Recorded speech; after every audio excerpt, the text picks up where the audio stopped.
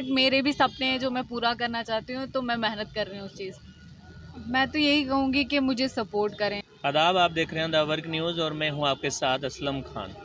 जम्मू कश्मीर के युवा जो हैं, युवा पीढ़ी की बात करें तो बेरोज़गारी के चलते कभी कुछ काम करने पड़ रहे हैं उनको और कभी कुछ करने पड़ रहे हैं। जैसा कि आपने पिछले दिनों देखा होगा कि पढ़े लिखे चाय वाले जो थे जम्मू के वे मॉल के बाहर उन्होंने टी, स्टाल लगाया था और उसके बाद बठिंडी में मक्का मस्जिद के पास एक बी टेक चाय वाला वो वो फ़ेमस हुआ। और ऐसे ही चलते आज बठिंडी के पास हम खड़े हैं और आप देख सकते हैं कि स्टूडेंट चाय वाली जो है वो नया टी स्टॉल खुला है और क्या वजह रही होंगी? आप लोग समझ सकते हैं कि इस महँगाई के दौर में कहीं पे जॉब करने के लिए जाना बड़ा मुश्किल काम है और ख़ास करके वो तब जब कि एक महिला को काम करने के लिए निकलना पड़े। ऐसे वक्त में ये डिसीज़न इनका लेना किस तरह से इनके लिए साबित होगा, इन्हीं से जानने की कोशिश करते हैं कि क्या इन्होंने किस वजह से ये टी स्टॉल खोला है और इनके पास कौन कौन सी ऐसी खासियत है कि लोग इनके पास भी चाय के लिए आएँगे। इनसे बात करेंगे और पूछेंगे कि इनके दिमाग में क्या आया है और किसके चलते इन्होंने यही डिसीज़न लिया कि चाय की ही एक जो स्टॉल है वो लगाएँगे। सबसे पहले आप हमारे जो व्यूअर्स हैं उनको अपना नाम बताएँ। अप्सरा परवीन नाम है मेरा। ऐसे मेरे पापा का नाम है अप्सरा सैफ़ी। तो ये किस तरह से आपके दिमाग में ये आया कि अगर आप चाय का स्टॉल क्योंकि बहुत सारे महिलाओं के लिए और भी बहुत सारे काम हैं लेकिन चाय का ही स्टॉल लगाना क्यों आपके दिमाग में आया? एक्चुअली मैंने जो एमबीए चाय वाला है ग्रेजुएट चाय वाली है मैं उनसे बहुत मोटिवेट हूँ। और मैंने तो ये काफ़ी पहले सोचा हुआ था बट फैमिली प्रॉब्लम्स थी फैमिली इशू थे।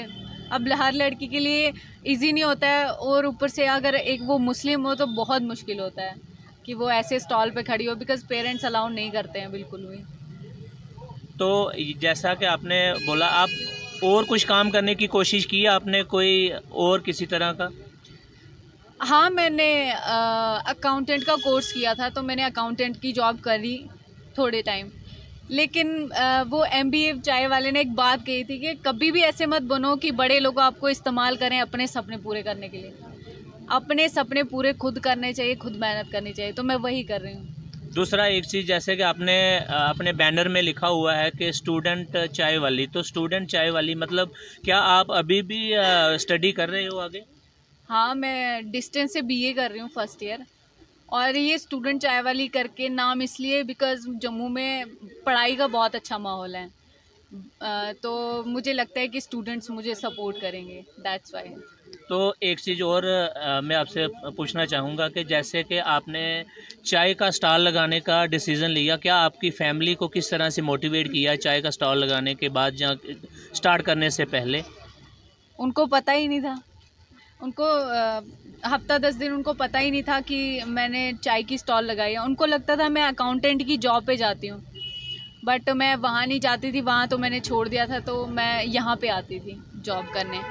अभी क्या रिएक्शन है आपके? जो शॉप ये जो स्टॉल खोलने के बाद अब फैमिली का क्या रिएक्शन है? जब मम्मा को पता चला था तो मतलब वो थोड़ा सैड हुए थे। पापा भी सैड हुए थे वो बोल रहे थे कि तुमने इतनी अच्छी खासी अकाउंटेंट की जॉब छोड़ के ये तुम काम कर रही हो चाय का। वो भी नॉर्मल सी बात है कोई भी पेरेंट्स नहीं चाहेंगे कि आ, उनकी बेटी ऐसे मतलब बीच रोड पे एक ठेले पे खड़ी रहे कोई नहीं चाहता है। उनकी भी सोच ठीक है पेरेंट्स के हिसाब से वो भी अच्छा सोचते हैं। बट मेरे भी सपने हैं जो मैं पूरा करना चाहती हूँ तो मैं मेहनत कर रही हूँ उस चीज़ के लिए। और आजकल की जैसे कि महिलाएँ जो है वो घर से नहीं निकलती हैं और काम करने के लिए जब उनको जाना पड़ता है तो वो शर्माती हैं थोड़ा परहेज़ करती हैं। उनके लिए आपकी तरफ़ से क्या मैसेज रहेगा? नहीं, देखो सबको बाहर निकलना चाहिए। अब जैसे आदमी होता है, वो बाहर निकल के मेहनत करता है, औरतों को कोई अलग से सुपर पावर नहीं है। या ऐसा नहीं है कि वो कमज़ोर हैं।